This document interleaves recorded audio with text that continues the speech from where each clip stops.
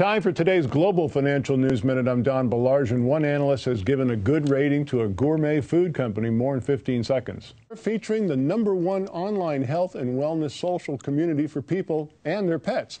Pazoo.com. Pazoo.com online health and wellness social community. Pazoo.com is publicly traded, symbol PZOO.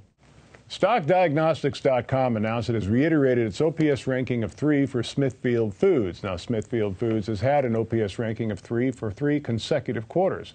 OPS rankings originated from the results of an in depth research study on operational cash flow per share, which revealed that a company's OPS logically falls into one of eight distinctive risk categories.